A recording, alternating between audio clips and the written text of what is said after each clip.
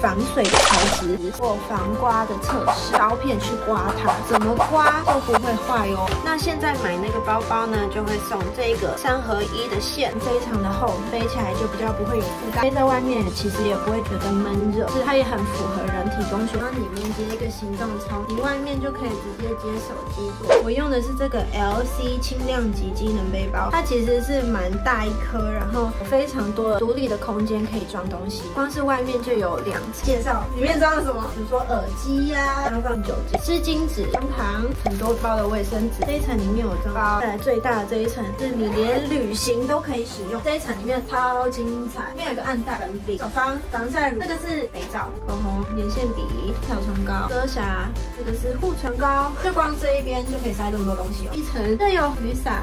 牙刷、餐具、卫生棉、鸡脚架，这个包包特别这样子，然后里面接一个行动充，外面就可以直接接手机做充电。牙线棒，这个是电脑的电源。一层呢就是我的 iPad 文文课本，接下来这一层呢是我的电脑，夹层是很厚，里面都有铺棉的，所以呢我一天都要带这么多东西出门。那什么样的包包是可以让我负载这些东西？答案是这一款 LC 轻量级机能背包，是防水的材质。这边还有，比如。说你要当背包客的话，你后面就可以放你的护照。它这边有一条带子，你就可以直接套在你的行李箱上。衬垫非常的厚，背起来就比较不会有负担。背在外面其实也不会觉得闷热，是它也很符合人体工学。这边有一个卡夹层，直接拿出来就可以逼了。通过防刮的测试，刀片去刮它，怎么刮都不会坏哦。那现在买那个包包呢，就会送这个三合一的线，是苹果的 Lightning，旧款的 Android 会有的 USB 头，款的 Android。会有的 Type C 头，好，